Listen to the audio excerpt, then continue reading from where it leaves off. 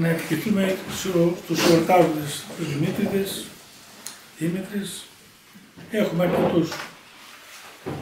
Τον κύριο Τάκη, τον Εκονό και άλλους πολλούς εδώ πέρα που γιορτάζουν.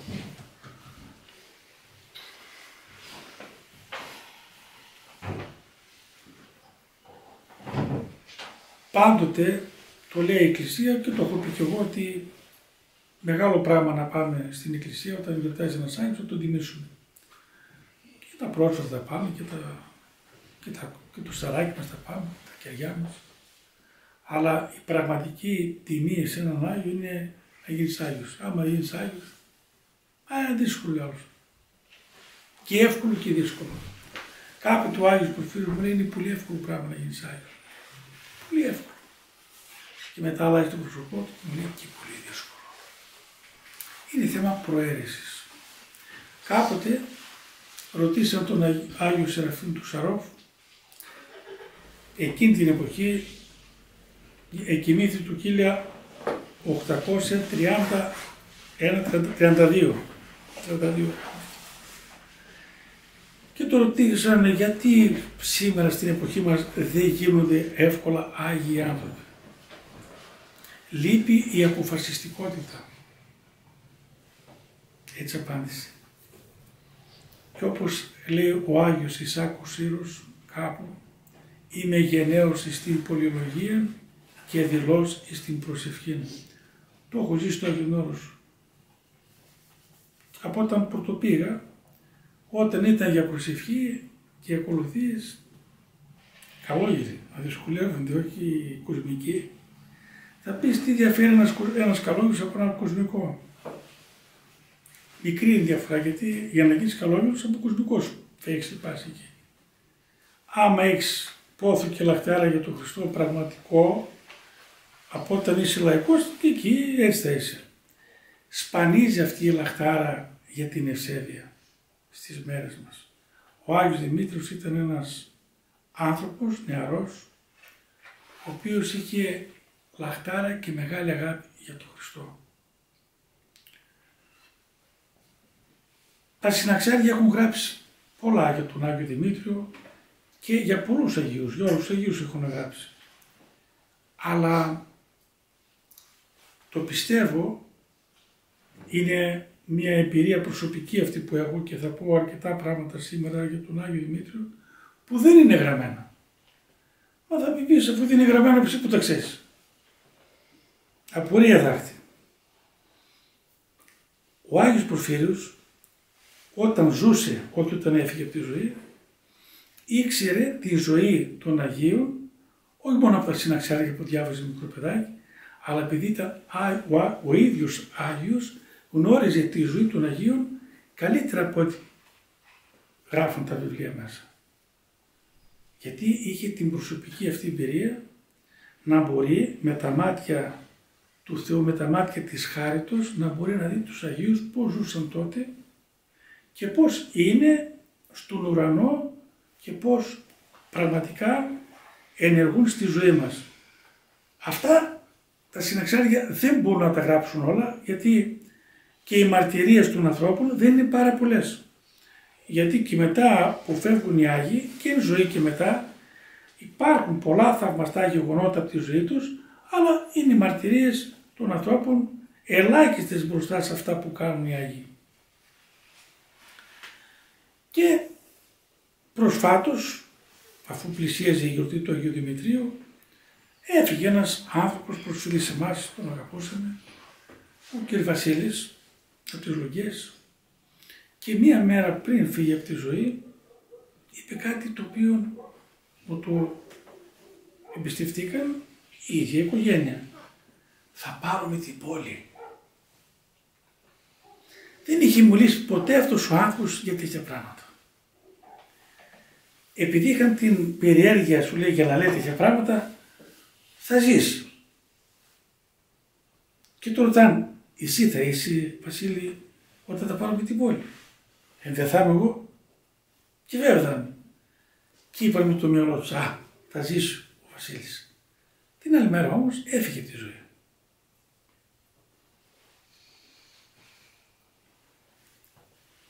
Όμως πριν φύγει από τη ζωή, πάλι μου εμπιστευτήκαν ότι έβλεπε τον Άγιο Δημήτριο.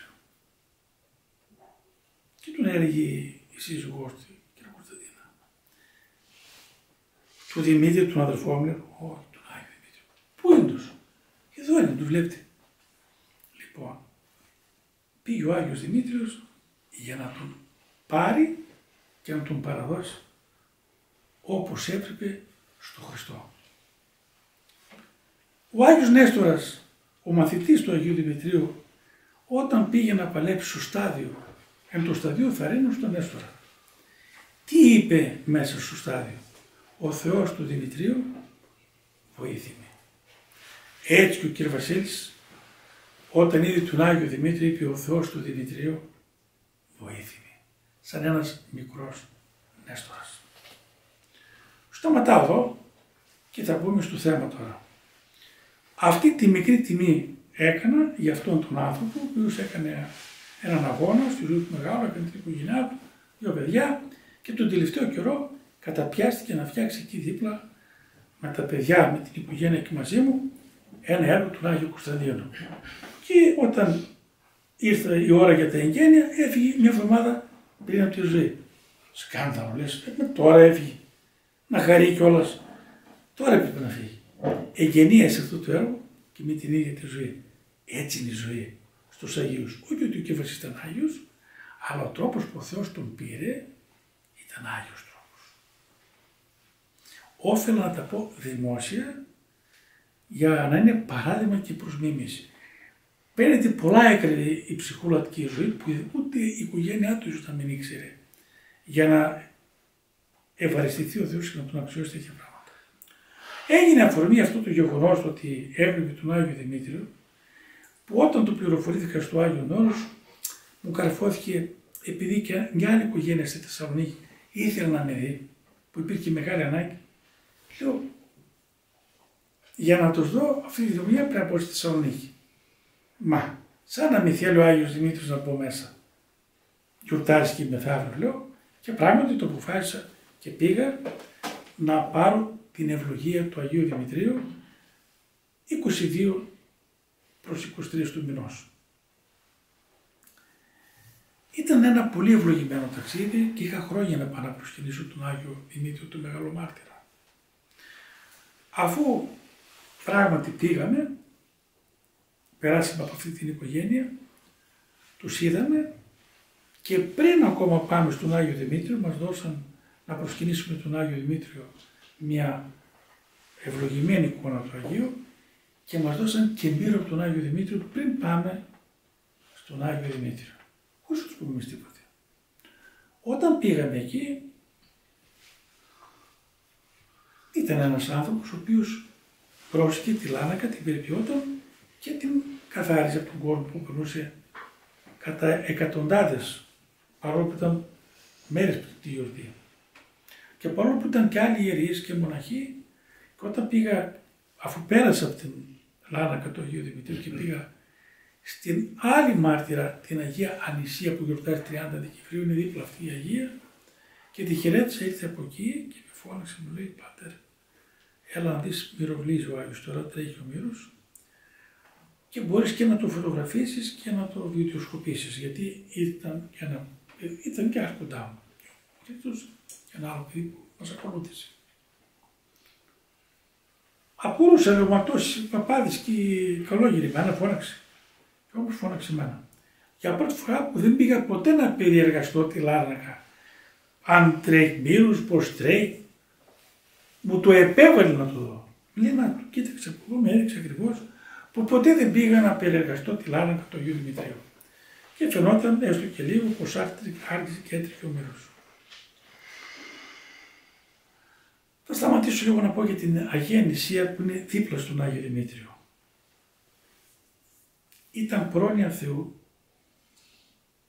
που εγώ πήγα κάποιες φορές, δεν ενθυμόμουν την Αγία Νησία ακριβώς το βίο της, γιορτάζει 30 Δεκεμβρίου και ήθελε ο Θεός τον Άγιο Δημήτριο να τον τιμήσει και με μία παρθενομάρτυρα την Αγία Νησία να, να είναι δίπλα στον Άγιο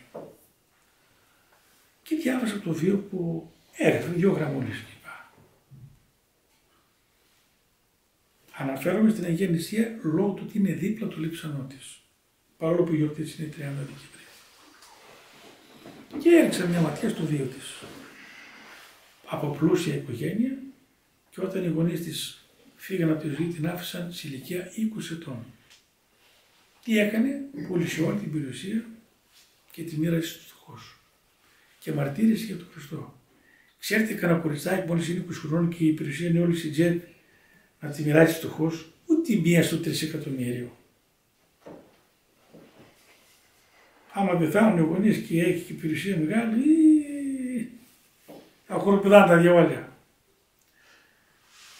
Άρα τι χριστιανοί είμαστε εμείς. Εγώ προβληματίστηκα πάρα πολύ. Λέω τι που ζούμε παιδί, τι χριστιανισμός είναι αυτός; Πάμε τις εκκλησίες, προσευχές, λάδια, καντήλια, κοινωνάμε, προβλήματα άλυτα. Για ποιο λόγο; Τι λέμε όλη την ώρα όταν προσεύχεσαι Κύριε Σου Χριστέ, λέει σώμα. Δηλαδή ζητάς και ζητάμε το έλεος του Θεού. Ήρθε κάποτε ένας σταγιονόρος και του λέω, σου κάνω μια ερώτηση, μου λέει ναι. Ελεείς τους ανθρώπους, μου λέει όχι, ούτε σε να τα σε ο Θεός. Δεν, δεν γίνεται προσευχή και ξομολόγηση, θεία κοινωνία και χωρίς έλεος. Η Αγία Νησία, όχι μόνο αυτήν, από την πρώτη εκκλησία μέχρι και τη ζωή των Αγίων Δημητρίου και Ανησίας και Γεωργίου, το πρώτο μέλημα του χριστιανών ήταν οι φτωχοί. Αν είχαν, αν δεν είχαν, δεν χρειαζόταν να δώσουν τίποτα, την ψυχή τους και, τη, και την προσευχή τους. Βασική προϋπόθεση για να είμαστε ευάρεστοι στο Θεό είναι το έλεος, η ελεημοσύνη. Αν δεν υπάρχει ελεημοσύνη στη ζωή, δεν υπάρχει έλεος στο Θεό. Μα να κάνεις αυτές, κάτσει, γίνει και καλόγερος, γίνει και δυστυχώς, το έχω ζήσει και στο Άγιον Όρος, δεν υπάρχει έλεος. Σπάνια. Και με τρομάζει αυτό το πράγμα. Γι' αυτό ο κόσμος έφτασε σε τέτοια αθλειότητα. Πόλεμος στην Παλαιστίνη, στην Ουκρανία μακελευτήκαν εκεί πέρα σφάζονται ακόμα και τώρα κλαθμός και οδημός, όπως λέει και στο, στο καταμαθαίμα διαβάστε και στο που λέγεται τον προφήτη Ειρηνία κλαθμός ένα ραμά, ραχήρ κλαίωσα τα τέκνα αυτής για τα 14.000 νήπια τα οποία εσφάγισαν από τον Ηρώδιο. Για ποιο λόγο, γιατί ήρθε ο Σωτήρας Χριστός, ο βασιλεύς, ο πραγματικός, ο βασιλεύς της ειρήνης όμως. Ο Ηρώδης δεν ήταν βασιλεύς ειρήνης, ήταν βασιλεύς της έκτρας της κακίας του σατανά. Και σήμερα μπορεί να έχει ξεπεράσει τα 3.000 παιδάκια τα οποία σφαγιάζονται μέσα από ένα πόλεμο που δεν θα πω ότι αν φταίει το Ισραήλ, αν φταίει η Παλαιστίνη, φταίνουν οι αμαρτίες μας. Ο Χριστός ήρθε και όλοι αυτοί οι Άγιοι που γιορτάζουμε τον Άγιο Δημήτριο δεν πήραν το όπλο να χτυπάνε κανέναν, αλλά ήταν άνθρωποι ειρηνικοί και ο Άγιος Δημήτριος, ο μεγαλομάρτυρας και μυροβλήτης, έκανε κατήγηση στο στρατό και κατηχούσε τους ανθρώπους να γνωρίζουν τον Χριστό. Όλα αυτά τα εγκλήματα που γίνονται πάνω στη γη μέχρι και σήμερα γίνονται γιατί δεν δεχτήκαμε τον Χριστό ως σωτήρα. Και προχωράω στο θέμα. Και αφού φύγαμε από τον Άγιο Δημήτριο στη Θεσσαλονίκη, πολλές σκέψεις του μυαλό πω ρε παιδί μου. Και είμαι μια σκέψη. Λέω πότε έφυγε από τη ζωή ο Άγιος Άλλοι ιστορικοί λένε το 303, το 304, το 305. Η πιο επικρατέστερη ημερομηνία χρονολογία είναι το 306. Το 306 όμως είναι και ο Μέγας Κωνσταντίνος. Θα πεις στη Λιάκη ο Μέγας Κωνσταντίνος τώρα με τον Άγιο Δημήτριο. Θα σας πω τώρα κάτι που είχα πει προηγουμένως, ότι όλα δεν μπορούν να γραφτούν. Γιατί δεν υπάρχει πληροφόρηση. Όταν ο Θεός θέλει να πληροφορήσει είτε ένα ιστορικό ή ένα βιογράφο ή, ή οποιονδήποτε, ένα Άγιο, ένα άνθρωπο φωτισμένο, θα τον φωτίσει ο Θεός να μάθει κάτι που δεν υπήρχε ή δεν ήξερε κανένας.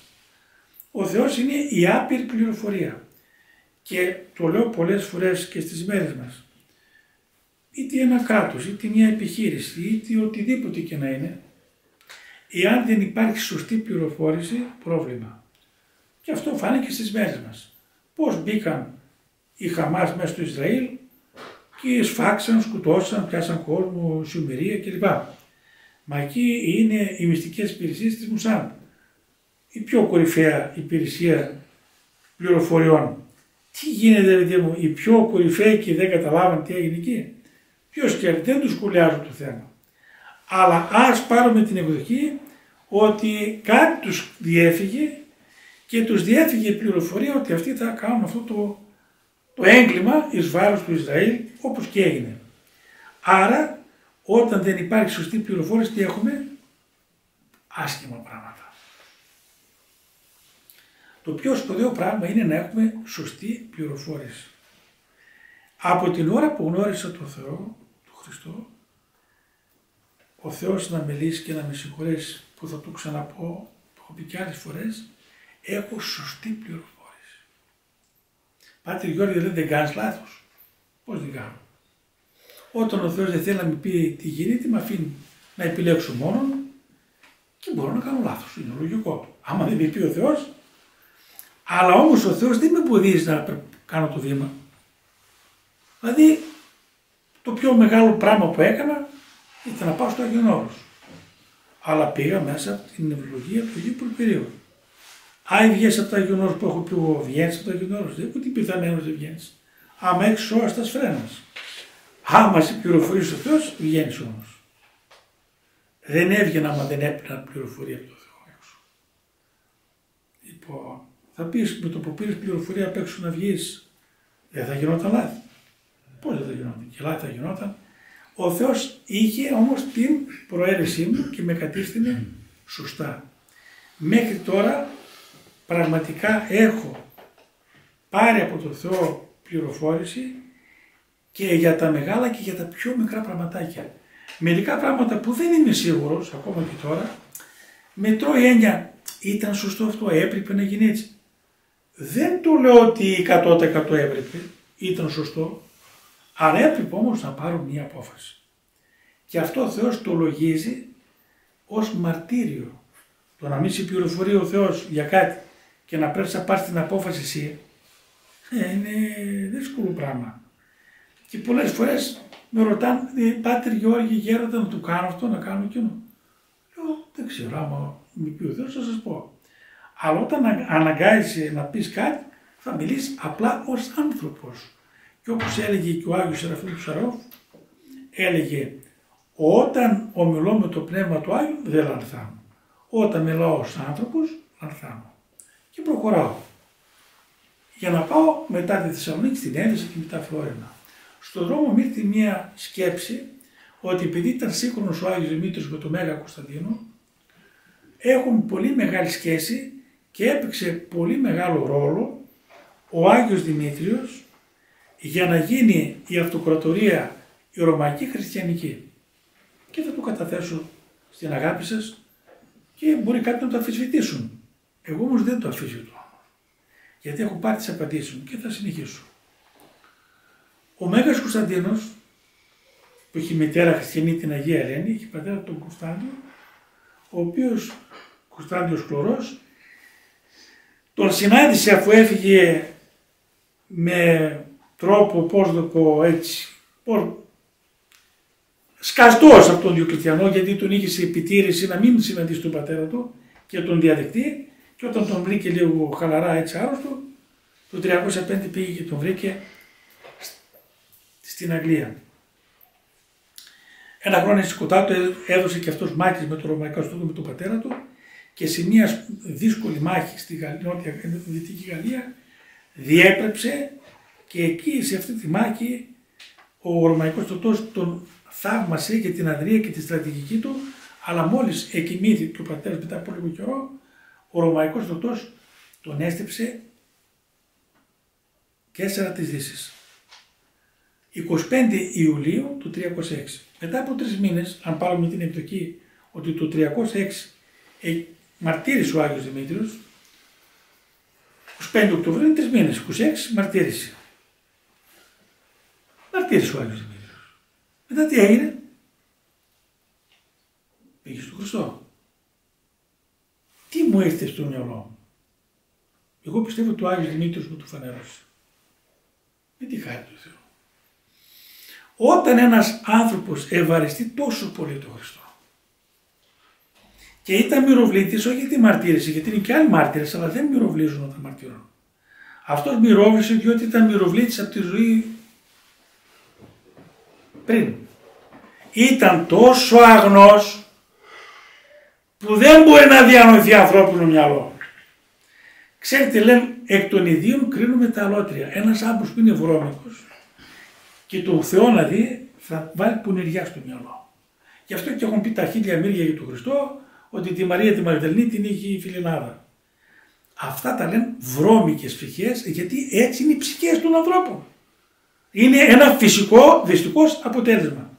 Αν όμως ο άνθρωπος είναι αγνός και τον πιο διαστραμμένο αγνό του λέει. Και αυτό είναι από τα λάθη που έχω και εγώ στη ζωή μου. Εγώ κρίνω τους ανθρώπους από τον εαυτό μου. Αγαθότητα έχω μέσα μου, αγαθά τη βλέπω τους άνθρωπους. Με καλοσύνη, με καλοσύνη. Με αγνότητα, με αγνότητα. Δεν θέλω να πω περισσότερα πράγματα. Τι να μου έβαλε ο Άγιος Δημήτριος, το πιστεύω στο μυαλό; Αφού μαρτύρησε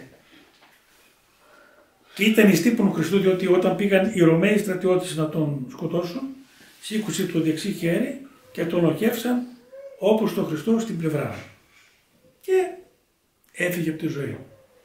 Έφυγε από τη ζωή γιατί έδωσε και το θάρρος και τη δύναμη και την ευλογία στον Άγιο Νέστορα και νίκησε το Λέο που ήταν φίλος του αυτοκράτορα.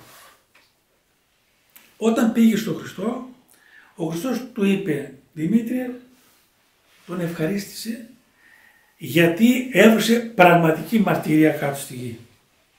Αλλά και ευαρέστησε κιόλας με τη ζωή πριν ακόμα. Τι θες να κάνω για σένα; Ένας αυτοκράτορας σφαγιάζει το χριστιανικό κόσμο. Και αυτοί γίνονται φωνιάδες και οι χριστιανοί περνάνε τα χίλια μεριά. Το δικό μου το μαρτύριο δεν το λογίζουμε. Χαρά και ευλογία για μένα να έρθω κοντά σου. Θέλω να σταματήσει αυτό το μακελιό όπως γίνεται τώρα στην Παλαιστίνη και θα σας πω γιατί γίνεται. Ε, ο Χριστός φταίει που γίνεται το μακελιός, να ξέρετε. Όσοι οι Εβραίοι ακόμα δεν έχουν αποδειχτεί ότι ο Χριστός είναι σωτήρας, θα μακελεύεται ο πλανήτης. Όταν θα τους έρθουν τα γύρια και αυτούς και θα τις φωτίσει ο Χριστός ο Θεός, πότε ο Θεός δεν ξέρω, ο Θεός το ξέρει και θα το κρίνει, θα σταματήσουν όλα αυτά τα κακά επί της γης. Οι Εβραίοι έχουν πάρει αυτή την δύναμη και την εξουσία, την οικονομική. Ποιον ακούσουν οι Εβραίοι τώρα, ή δεν ακούν κανέναν και, του, και την Αμερική, τη λένε εδώ και κάνει ό,τι λέμε εμείς. Αλλά όλα αυτά τα κακά γίνονται γιατί ακόμα δεν γνωρίσαν και δεν πιστέψαν ή δεν θέλουν να παραδεχτούν ότι ο Χριστός ήρθε επί της γης. Για ποιο λόγο, το είπα από την αρχή. Διότι δεν είχαν έλεος μέσα τους. Ήταν σκληροί πάρα πολύ. Και συνεχίζω. Και ο Χριστός του λέει του Δημητρίου, τι θες να κάνω εγώ για σένα αφού ευαρέστησες τόσο πολύ; Και του είπε ότι κάτω γίνεται μακελιό. Σφάζει το κόσμος. Τους χριστιανούς τους είχαν βορρά στα θηρία, στα, στα στάδια να τους σφάζουν, να τους σκοτώνουν, Μιλάμε για τρομερά πράγματα. Εμείς τίποτα δεν περνάμε. Εμείς είμαστε μια χαρά.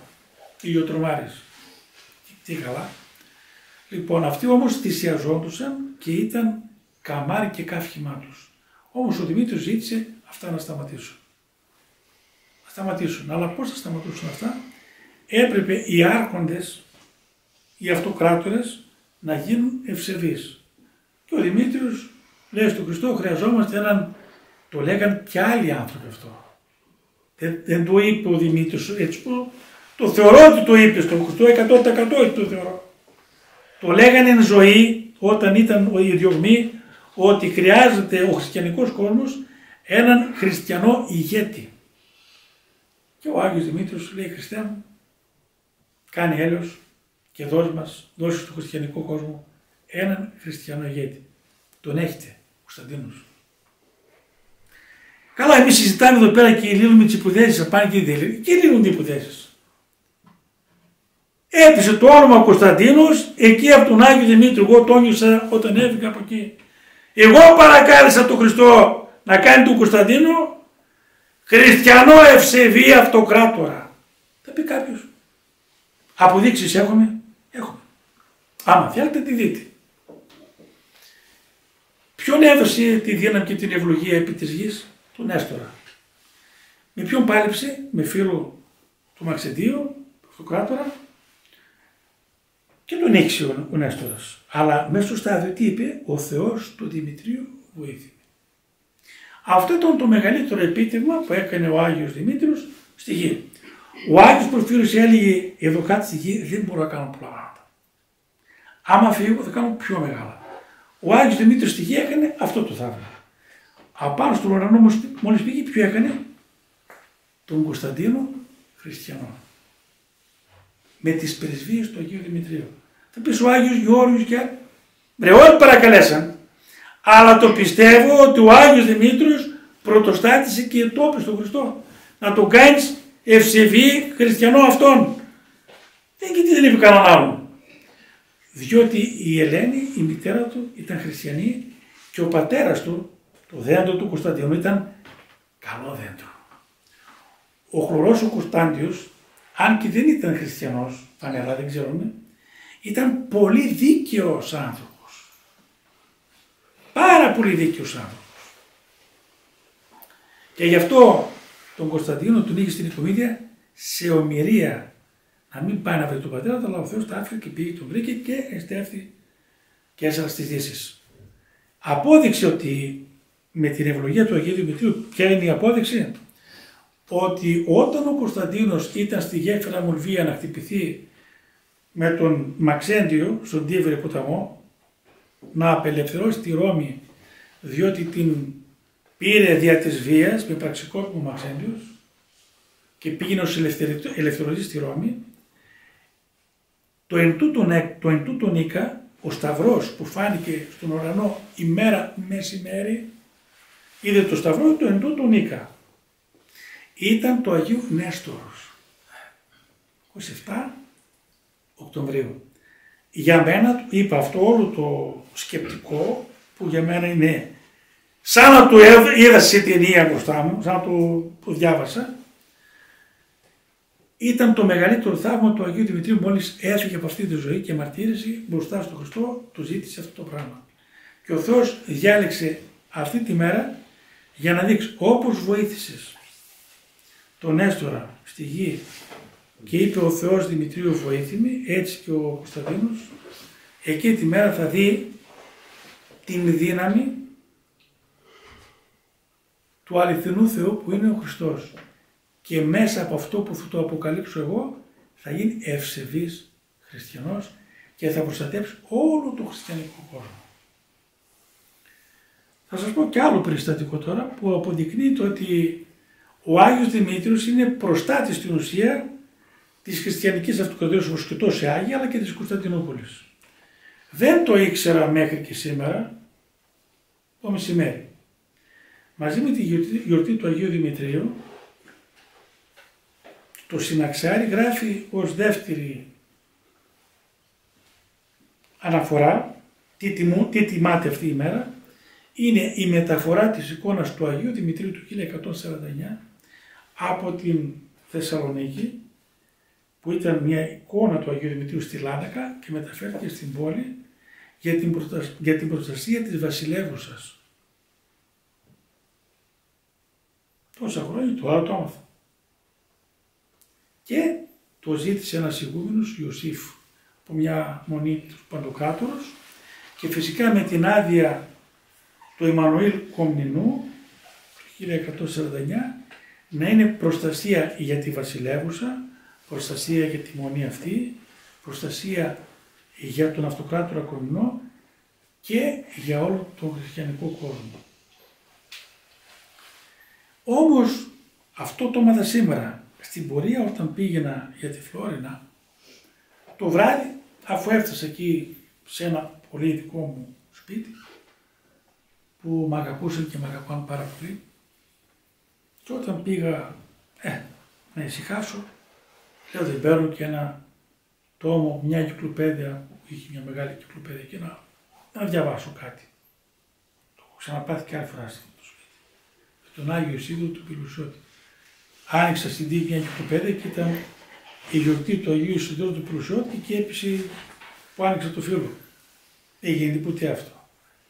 Και υπήρχε ο λόγος που το βρήκα. Τώρα, όπως παίρνω ένα τόμο που δεν μπορούσα άλλο να ανοίξω, γιατί ήταν σφυρωμένα τα βιβλία μέσα εκεί, ένας τόμος ήταν ελεύθερος, να πάρω αυτό που είναι ελεύθερος, πιο εύκολος. Το ανοίγω, ξεφύλιζε και ο φύλλα, Μέγας Κωνσταντίνος Κωνσταντινούπολης. Τι γίνεται, παιδί. Σκεφτόμαστε στον δρόμο ότι του Κωνσταντίνου του διάλεξε ο Άγιος Δημήτρης και τον βρήκα πάλι μπροστά μου.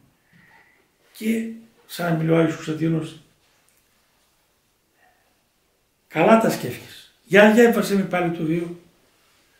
Πράγματι το διάβασα προσεκτικά. Κατάλαβα ότι είναι σύγχρονος. Και υπάρχει μία μαρτυρία ιστορικών που λένε ότι η γέννηση και του Κωνσταντίνου και του Αγίου Δημητρίου και του Αγίου Γεωργίου είναι το 280 μετά Χριστόν, ίδια χρονιά. Παίζει και αυτό. Διάβασα προσεκτικά το βίο του Αγίου Κωνσταντίνου και προσεκτικά πώς δημιούργησε και διάλεξε την Κωνσταντινούπολη. Πρώτα διάλεξε για πρωτεύουσα της, για τη νέα πρωτεύουσα της χριστιανικής αυτοκρατορίας τη Θεσσαλονίκη. Δεν έγινε. Δεν τα θέλει να Θεό. Μετά διάλεξε την Ις που ήταν η γενέτειρά του. Ούτε και έγινε. Μετά διάλεξε την Τρία. Δεν έγινε ούτε εκεί. Μετά ο Θεός του αποκάλυψε ότι θα είναι η Βυζαντίδα, το Βυζάντιο, το αρχαίο που ήταν από το Βίζαντα, από τα Μέγαρα, του βασιλιά Βίζαντα. Όταν έκατσα με προσοχή και διάβαζα και το βίο του και την ιστορία πώς δημιουργήθηκε η Κωνσταντινούπολη, πήρα την επιβεβαίωση ότι πραγματικά ο Άγιος Δημήτριος πρωτοστάτησε και έπαιξε ρόλο, απάντησε δηλαδή και ο Άγιος Δημήτριος και ο Άγιος Κωνσταντίνος ότι καλώς τα σκέφτηκες. Έπρεπε να, διαλεχθεί, να διαλεχθεί ένας αυτοκράτορας που να γίνει ευσεβής χριστιανός και μια πρωτεύουσα καινούργια διότι η Ρώμη είχε σχέση με την αρχαία, με τον αρχαίο κόσμο, με την ειδωλολατρία. Η πόλη πλέον δεν είναι ελληνική, την έχουν οι Τούρκοι. Όμως εγώ ξαναγυρίζω πάλι στον κύριο Βασίλη και τι είπε μια μέρα πριν φύγει τη ζωή, θα πάρουμε την πόλη και την μέρα του εμφανίστηκε ο Άγιος Δημήτριος. Για βάλτε λίγο τώρα, διότι στην αρχή όταν το άκουσα, σαν πληροφορία μου φάνηκε λίγο αλόκοτο. Πάραμε την πόλη και ήρθε και ο Άγιος Δημήτρης. Λίγο ανακατημένα. Τώρα έτσι που σας τα είπα δεν φαίνονται ανακατημένα. Φαίνονται να έχουν μία σειρά. Εκεί στις λογιές έγινε ένα έργο που κάποιοι θα πούν τι έγινε εκεί πέρα. Φτιάξαν και ένα ώρα. Ήταν ένα μέρος πεταμένο, παρατημένο και αξιοποιήθηκε με τη χάρη του Θεού, με τη βοήθεια που μου έδωσε εμένα ο Θεός και σε αυτή την οικογένεια. Τι λέει στο Ευαγγέλιο Χριστός; Εύδουλε αγαθέ, εις λίγα εις πιστός, εις πολλά σε καταστήσω. Εδώ δίνουμε εξετάσεις. Τα χρήματα δεν είναι για να περνάμε καλά, για να μοιράζουμε τις ευλογίες. Είχε ανάγκη ο Μέγας Κωνσταντίνος του φτιάξει τον ναό, τόσο ναός έχει. Αλλά αυτό το ναό όταν πήγαινα και περνούσα για τον Άγιο Προκόπιο, έβλεπα το ταπηλάκι. Άγιο Κωνσταντίνο, α, θα πάω καμιά μέρα, έλεγα. Πέντε χρόνια στον Άγιο Προκόπιο, δεν πήγα. Περνούσα πάλι από εκεί, πέντε χρόνια μας το κατούσε. Ξανακοιτούσα τα ταπηλή σε αυτήν, δεν πήγα ποτέ. Δεν τον περιφρόνησα τον Άγιο. Αλλά ο Άγιος Κωνσταντίνος μου λέει, για έλα εδώ Πάτερ Γιώργη. Θέλω να με φτιάξετε εδώ. Γιατί από εδώ θα πάρετε την ευλογία μου. Και το ξαναλέω πάλι. Εύδουλε αγαθέ εις ο λίγα εις πιστός, εις πολλά σε καταστήσω. Όταν είσαι μικρός και ασήμαντος και δεν σε υπολογίζεις κανένας και σε κυνηγάν χίλια όλοι και δεν φοβάσαι να είσαι τολμηρός και να κάνεις έστω αυτά τα έργα. Τι θα πρέπει να κάνει ο Θεός και οι Άγιοι; Γιατί όπως είδα, με τη χάρη του Θεού πιστεύω του είδα, ότι ο Άγιος Δημήτριος πήγε εκεί, πήγε του Μέγα Κωνσταντίνου και ο Μέγας Κωνσταντίνος ε, θα πήγε να πει στον Χριστό για την οικογένεια πρώτη του κύριε Βασίλη. Κοίτα τι κάνουν αυτά τα παιδιά, την οικογένεια, να τους δώσουμε μια ευλογία. Και δεν μπορούσαν να δουν ε, ότι η ευλογία ήταν μέσω του θανάτου. Γενιάστηκε το έργο με το θάνατο του κ. Βασίλη, πέθανε άνθρωπο μια εβδομάδα πριν τα εγγένεια. Δηλαδή λες αλλού τα πράγματα, μια χαρά είναι. Αυτή την ευλογία την πήρε η οικογένεια. Τώρα εγώ περιμένω τη δική μου την ευλογία από τον Μέγα Κωνσταντίνο και από τον Άγιο Δημήτριο. Δεν λέω περισσότερα, θα τα πούμε σε άλλα τεύχια. Πεντακάθαρα τα βλέπω τα πράγματα. Πεντακάθαρα. Μη φοβάστε να είστε τολμηροί. Ζούμε δύσκολες μέρες, δεν αμφιβάλλω. Και τα οικονομικά δεν πάνε καλά. Μη φοβάστε. Έχει αξία από το ιστέρημα να βοηθάς. Εγώ δεν βοηθάω από το ιστέρημα. Βοηθάω από τα... Τι είναι να συμφωνάσετε. Είμαι μεγάλη ιστορία. Λοιπόν, Ρομπέρτο Δασόν, ό,τι όποιος κατάλαβε. Διευκόν τον Αγίου Πατέρα μου, τον Κύριο Χριστό, ελέγχουν τους όσους